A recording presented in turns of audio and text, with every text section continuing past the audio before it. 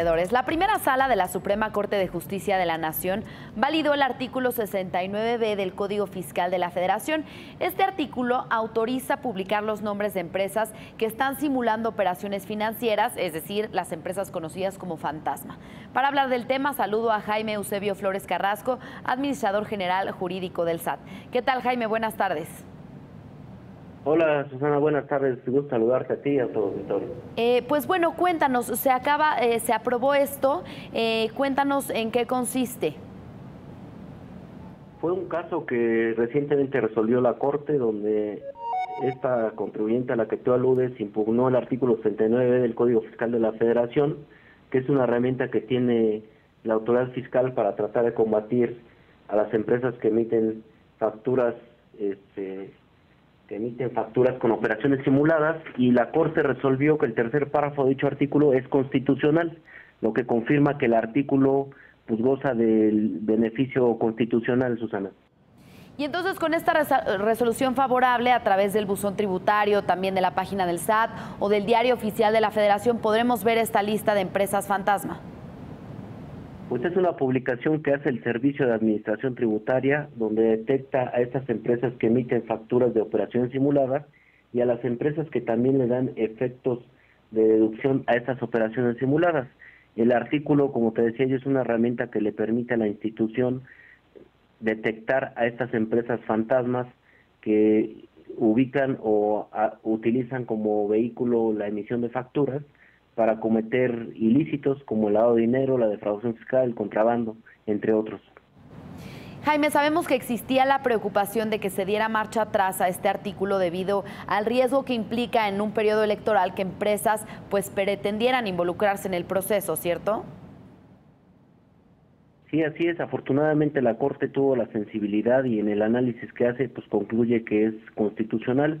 Debemos recordar que el artículo pues ya fue cuestionado por algunos contribuyentes desde que entró en vigor en el año 2014 y afortunadamente la Corte en un buen análisis que hizo también declaró que era constitucional. Como son momentos en los que los contribuyentes tienen para ir al amparo ante la Corte, pues en este caso en particular optó por ir hasta el máximo órgano jurisdiccional hasta el momento que se le aplicó cuando tuvo un procedimiento del SAT y subió por eso hasta este año a la Suprema Corte de Justicia de la Nación, analizando específicamente el tercer párrafo, que, que según la persona que promovió el amparo decía que no tenía un plazo para emitir la resolución correspondiente, respecto a lo cual la Corte concluyó y definió que no le causaba ningún ninguna violación al derecho de seguridad jurídica y por eso es que concluyó que es constitucional. Y Jaime, ¿qué experiencia han tenido en procesos electorales anteriores? ¿Ha incrementado el número de empresas fantasma en esos periodos?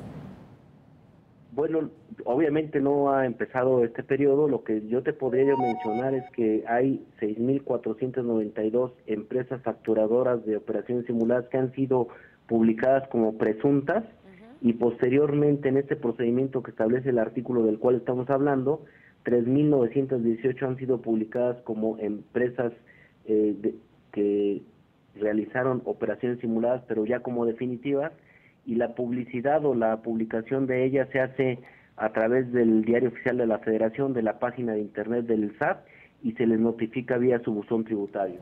Bueno, pero me refería, digo, a partir de que en 2014 empezaron a publicar estas listas, no ha habido un periodo electoral presidencial, pero sí de gubernaturas, municipales, etcétera. Eh, ¿Ahí qué experiencia han tenido? ¿Ha aumentado el número de empresas fantasma en estos periodos? Pues la verdad es que el, esquema se ha combatido a través de los años, no, vemos un incremento, pues más bien vemos una constante, ¿no? Que se ha mantenido lamentablemente, Susana, pero afortunadamente esta herramienta que la Corte ya nos dijo que es constitucional nos sirve para combatirla como institución y como gobierno del Estado, como gobierno mexicano, ¿no? Que es una práctica indebida que no solamente el SAT, sino otras instituciones trabajan en coordinación para tratar de acabar con esta eh, mala práctica por parte de algunos ciudadanos o contribuyentes. Ok, entonces son una constante y a partir del 2014 no han disminuido este tipo de empresas, este tipo de operaciones ilícitas. Sí, no tengo el porcentaje de, cómo ha disminuido, Susana, pero a partir de que entró en vigor la medida, este, sí, algunos contribuyentes se acercaron porque supieron o se enteraron de que estaban publicadas las listas y optaron por autocorregirse. Hay una cifra que eh, tenemos está aquí eh, nosotros de que en cuanto entró en vigor el artículo 69 del Código Fiscal de la Federación, hubo una autocorrección por más de 9 mil millones de pesos de los contribuyentes.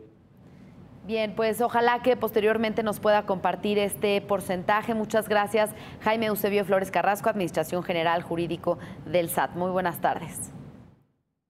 No tienes nada que agradecer, Susana. El SAT siempre está atento a ejercer sus facultades y respetar siempre el Estado de Derecho y las facultades que nos dan las leyes fiscales para tratar de combatir las prácticas indebidas. Muchas gracias.